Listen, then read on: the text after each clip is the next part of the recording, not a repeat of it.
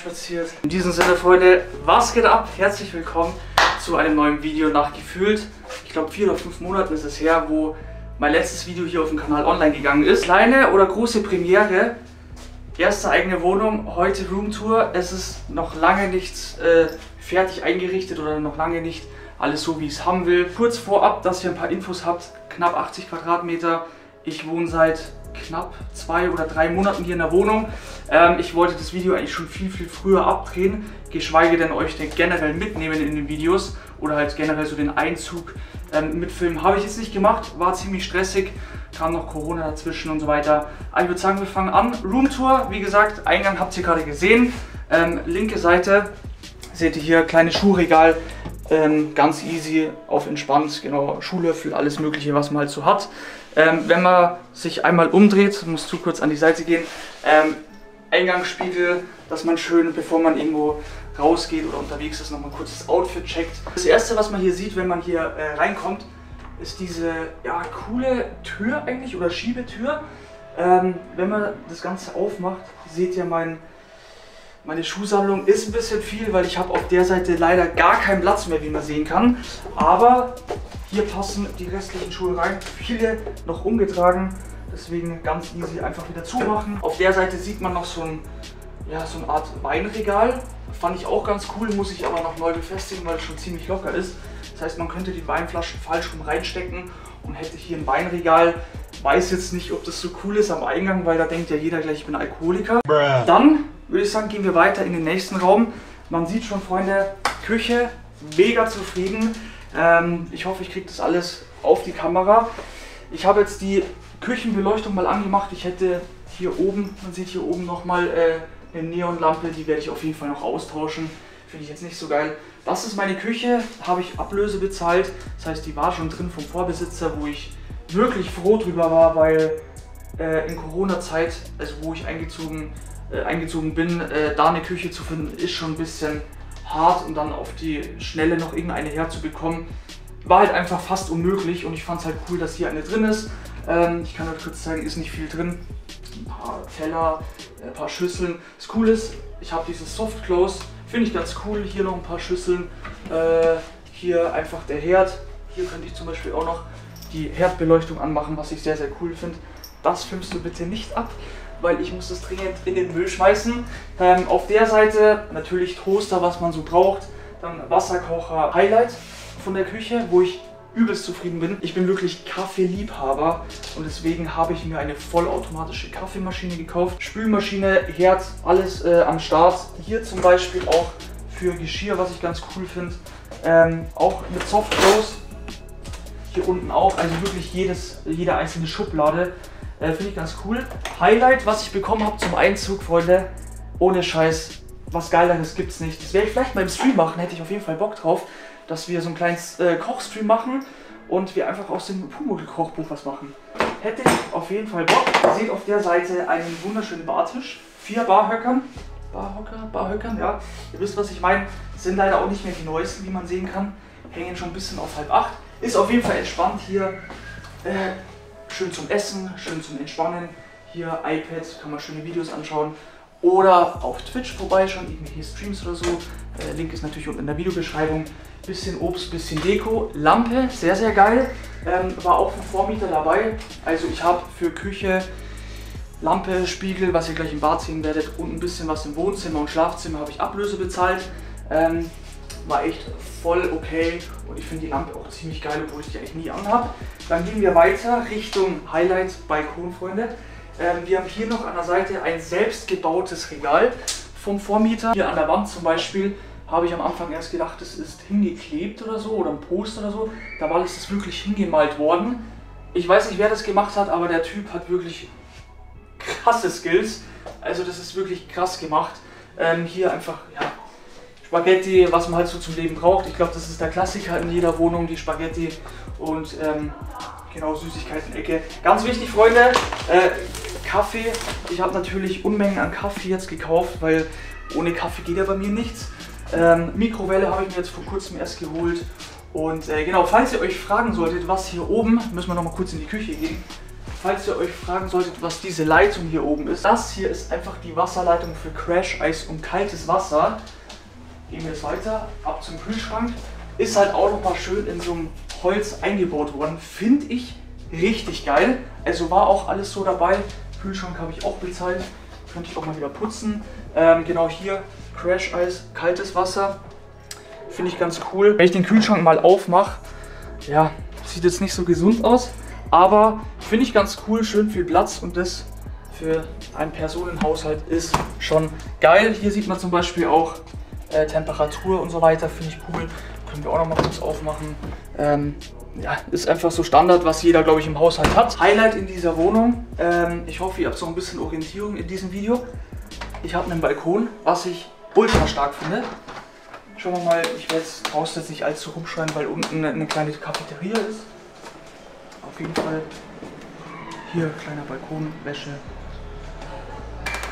noch kleinen Abstellraum, äh, Waschmaschine, Bier, sehr sehr wichtig, wenn äh, Gäste kommen. Genau jetzt saßen natürlich alle Nachbarn unter mir, die denken sich, mit wem redet der bitte? Ähm, zurück in der Küche, ab ins Bad. Was für eine Überleitung. Ultra schick, sehr, sehr cool gemacht. Ähm, ich mache euch mal das Licht an, dass ihr ein bisschen was sehen könnt. Spiegel, Lampen, alles vom Vorbesitzer. Äh, Spiegel finde ich ultra geil. Lampen sind auch ziemlich chillig. Regal war noch dabei. Also für wirklich für eine Person ist äh, die Wohnung eigentlich schon viel zu groß. Also wie gesagt knapp 80 Quadratmeter. Ähm, Vorhang weg und man sieht, ich habe sogar eine Regendusche, was ich sehr, sehr cool finde. So, dann haben wir die ersten Räume schon hinter uns, würde ich sagen. Küche habt ihr schon gesehen. Ab auf die andere Seite. Ähm, ist auch mit Abstand, glaube ich, das Highlight von dieser Wohnung. Okay, die Küche ist halt auch ziemlich geil. Eigentlich ist die komplette Wohnung geil, aber ähm, darauf habe ich halt geschaut beim Einzug oder generell bei Wohnungssuche. Ich brauche ein schönes, großes Wohnzimmer, weil ein extra Raum für ein Streaming, also ein extra Streaming-Raum. Ähm, das heißt, ich bräuchte dann drei, vier Zimmer oder vier Zimmer Wohnung und es wäre dann deutlich äh, teurer, also könnte ich mir gar nicht leisten. Und deswegen habe ich hier die Wohnung gefunden. Wäre natürlich ohne Vitamin B nicht gegangen, aber Freunde, hier mein nicht kleines, sondern großes Wohnzimmer ist, wie gesagt, noch lange nicht fertig. Ihr seht, die Wände sind noch alle nackt, beziehungsweise noch keine Bilder, keine Deko, gar nichts. Ähm, größtes Highlight finde ich, ach, meine Couch, Freunde, habe ich mir gebraucht auf Ebay gekauft. Ultra geil. Ich kann euch sogar sagen, ich glaube 250 oder 260 Euro. Kann man natürlich auch als äh, Schlafcouch nutzen, ist sogar Federkern. Und äh, genau die Ecke nochmal kurz. Regal war dabei, Uhr war auch bei der Ablöse dabei, Lampe habe ich mir gekauft. Genau auf der Seite. Alter Fernseher, funktioniert auch noch. Playstation, Xbox, was man halt alles so braucht. Genau, also hier Fernseher und so weiter. Wenn man hier weitergeht, seht ihr schon die ganze Technik. Ähm, ich muss mal kurz die Tür zumachen. Ähm, sieht man hier die ganze Technik, Freunde. Äh, ich will nicht wissen, was ich Ende des Jahres an Nachzahlung von Strom habe. Aber ja, ich finde es ultra geil. Hier ist meine entspannte Streaming- und Zocker-Ecke. Ihr seht, ich habe ein bisschen aufgerüstet. Vierter Bildschirm, ich glaube, davon habe ich noch gar nicht erzählt. Neuer Tisch ist am Start, neue Füße, also Fuß für den Tisch habe ich alles selber äh, zusammengestellt und selbst zusammengeschraubt. Finde ich so ultra, ultra geil. Ähm, genau, Kanäle sind hier auch nochmal offen, könnt ihr gerne vorbeischauen. Dann gehen wir auf die Seite. Hier haben wir Haufen Kabel auf jeden Fall am Start. Ich habe schon versucht, hier mit so Kabelführungen ein bisschen Ordnung zu schaffen. Sieht trotzdem noch aus wie Scheiße. Aber hier ist mein neuer DJ-Tisch, beziehungsweise DJ-Bereich. Du kannst mal kurz stehen bleiben. Das Ganze sieht dann so aus.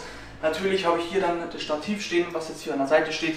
Hier lege ich auf, hier habe ich meine Lichter. Ich weiß, sieht lange nicht so geil aus wie in meinem alten Studio, weil ich im alten Studio meine schwarzen Absorber an der Wand hatte. Ähm, werde ich mir auch noch irgendwas überlegen, aber wird nach und nach kommen. Ich habe hier ähm, den Tisch gekauft bzw. bestellt, weil ich hier auch meine Videos in Zukunft schneiden werde. Und der Tisch ist einfach höhenverstellbar, was ich halt ultra smart finde. Das heißt, ich kann halt im Stehen auch meine Videos schneiden. Controller schnell weg, Laptop hin, Videoschnitt, ab auf YouTube und fertig. Ähm, genau, auf der Seite gibt es eigentlich nicht mehr viel zu zeigen, außer Kabel, Kabel, Kabel. Ähm, wichtigste für den DJ-Stream, ganz klar Freunde, Nebelmaschine, ist jetzt auch nur professorisch auf dem Stuhl. Und ähm, genau, größter Nachteil, was ich eigentlich gleich schon sagen kann, vorab in dem, in dem Video oder generell vorab in der Wohnung, ähm, war, ich mache mal kurz Fenster auf, ich weiß nicht, ob man das hört. Jetzt geht es natürlich gerade wieder, aber es ist ein ultra krasser Lärm. Aber mal irgendwo muss man Abstriche haben oder Abstriche haben.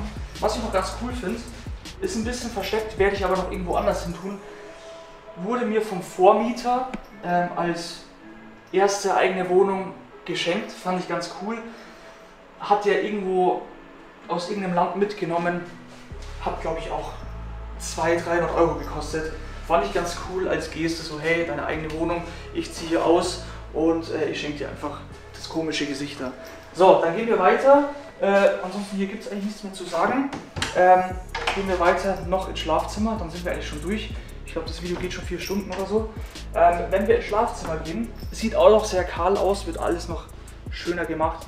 Ähm, man sieht hier auf der Seite, habe ich auch mit Ablöse übernommen, einen äh, schönen Kleiderschrank. Schönen Kleiderschrank. Ähm, war mir eigentlich sowas von egal, weil ich habe einfach einen gesucht, den ich, wo ich meine Klamotten reinschmeißen kann. Ähm, ich kann es euch mal kurz zeigen. Und nein, ich habe nicht viele Klamotten. Sind nur ein paar. Ähm, ja, ich habe halt einfach einen Kleiderschrank gesucht, weil daheim hatte ich nur so ein Stoffding und das habe ich dann weggeschmissen und fand ich ganz cool, dass er den in der Bude lässt. Man sieht hier ganzen Kartons, also hier wird noch einiges an Equipment ausgepackt, beziehungsweise hier in der Wohnung verteilt. Muss ich aber alles noch irgendwo schauen, wo ich das platziere. Hier will ich noch irgendwas hinbauen, aber werdet ihr alles in den Update-Videos von, von meiner Wohnung sehen. Hier fand ich ganz cool, hat auch der Vormieter reingebaut. Also nicht mal die Vermieter, sondern der Vormieter, der hier gewohnt hat. Einfach so ein ja, Zwischentrenner oder Raumtrenner, sage ich mal. Ähm, hier hat ein bisschen Stauraum, was ich nicht verstehen kann, aber ist halt trotzdem cool. Wenn ich hier aufmache, kann ich hier einfach durchschauen. Und fragt mich nicht warum. Ist cool, braucht man aber nicht. Aber wie heißt so schön, Freunde, lieber haben als brauchen. So, und im Endeffekt seht ihr hier noch als letztes mein kleines Bett voll entspannt, schönes Boxspringbett, kann ich jedem nur empfehlen. Nichts anderes mehr kaufen und äh, ja, Nachtkästchen und hier der gute Lärm. Machen wir hier gleich mal zu. Äh, kommen wir noch ganz kurz, Freunde, zu den negativen Sachen hier in der Wohnung. Man kann es hier sehen. Es ist leider einfach Altbau. Man sieht es hier unten auch nochmal. Ähm, mir fehlen die Leisten. Es ist halt einfach, ja, es ist einfach eine alte Wohnung. Trotzdem fühle ich mich ja sowas von äh, wie zu Hause oder ja, ich fühle mich einfach wohl hier in der Wohnung. Müsste ich halt alles noch verputzen. Also ich habe das alles mit den Vermietern schon abbesprochen oder besprochen. Ähm, apropos Leisten, habe ich hier oben nochmal welche bekommen. Müsste ich nur zuschneiden, müsste ich hinbauen. Und ähm, genau, fertig. In diesem Sinne sind wir eigentlich durch. Lampen ist natürlich das Highlight noch hier in der Wohnung. Wir können noch mal kurz ins Wohnzimmer gehen. Ähm, ist halt, ich glaube, Klassiker. Jeder, der eine eigene Wohnung zieht oder in die erste eigene Wohnung, das letzte, was gemacht wird, sind einfach die Lampen. Und in diesem Sinne, Freunde, würde ich sagen, war es das von der ersten Roomtour. Das Video wird schon lang genug sein. Ähm, wir sehen uns auf jeden Fall zum nächsten Video wieder. Es wird wieder massig Content geben. Ich habe sehr, sehr viel geplant.